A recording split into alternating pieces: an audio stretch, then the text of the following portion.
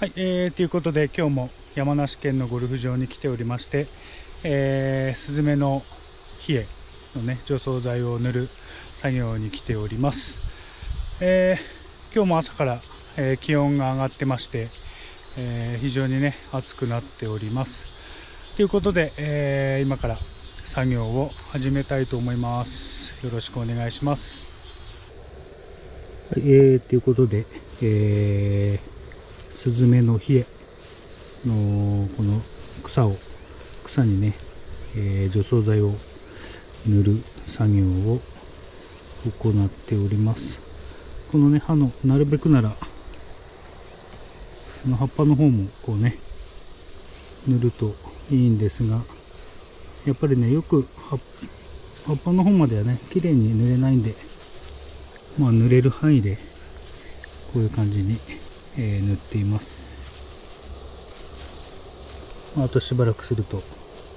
1週間ぐらいすると枯れてくると思うんで、えー、いいかな。こんな感じですかね。はい。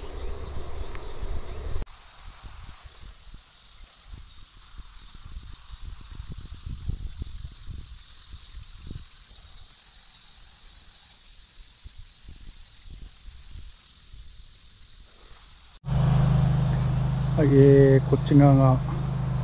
えー、除草剤を塗った方ですね。でどんどんこっち左側に行くとこの先がまだ全然、えー、濡れてないんでこっちもね進めたいと思います。でこれがね1週間後ぐらいに多分、えー、効果が出てくると思うんでその時に見たいんですが、えー果たしてその時期にまたこちらのゴルフ場に来れるかどうかねわからないんで、えー、まあ、ちょっと後で、えキーパーにその結果をね報告してもらえればいいかなと思っております、まあ、こんな感じです。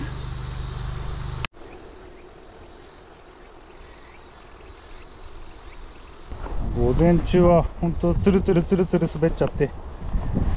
でもスパイクタブ履いたから今度は大丈夫ですよね。長靴じゃきついっすよこの斜面は。きついっすよ。安全第一で。始めますか。はい、えー、ということでですね、えー、山梨県の3日間の作業終了いたしました。